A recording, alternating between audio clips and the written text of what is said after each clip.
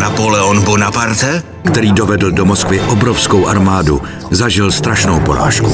Po ruské katastrofě tu máme katastrofu německou. Byla to hrozná tragédie. Vojevůdce a státník, který navzdory mnoha vítězstvím musel abdikovat a odejít do vědanství.